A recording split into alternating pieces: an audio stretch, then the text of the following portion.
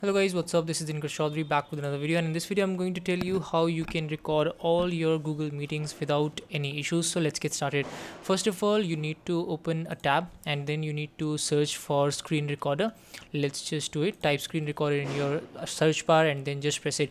Then you have to click on the second link which appears which is going to be a link for the Chrome Web Store. Just click on it. And after that this page will appear. You need to make sure that you are you know installing the right screen recorder which is this uh, with this blue logo. After that click on add to chrome. I will be also giving the link of this extension uh, in the description so you can check that out as well. After that this extension will be added to your chrome extensions and you can easily view it by going to the top right corner click on the extensions button and then you'll have the screen recorder button right here. Now as you can see i have already joined this google meeting uh, which is the google meet and i'll be uh, starting to record it from now. So just click on the extensions button click on screen recorder. Uh, after that just click uh, press ok for the first time then you have a lot of options. If you want to record only your screen then if you want to record your screen and camera at the same time then you have another option for only camera. Right now i'll be going for only screen. After that you have the audio options where you can mute all the audios or if you want to take only the microphone you can take it as well. Now if you want to take both the audios coming in from the system which is the uh, you know if other people will be speaking in the meeting if you want to record them as well then you need to select this option.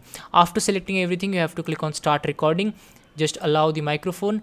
Now make, make sure you select the right screen here. Whenever you are trying to record a meeting you need to make sure that you are just selecting the right screen. After that click on share system audio and then click on share now as soon as you do it the recording will start. And now as you can see i'm currently speaking in this uh, meeting. Everything is going in. Now we will stop the recording. To stop or pause the recording you need to click on this icon again in your status bar. After that you can pause the recording or stop the recording. For now we will be stopping the recording. Now as soon as you stop the recording you need to make sure that you click this save button to get a copy of your recording. Now it has been downloaded. So as you can see uh, this this uh, recording has now been saved into my uh, PC you can go to your downloads and here you have this uh, video file. So guys that was it for this video. Thank you so much for watching the video. I hope you liked the video. Click the like and subscribe button if you found this video helpful and share for more videos like this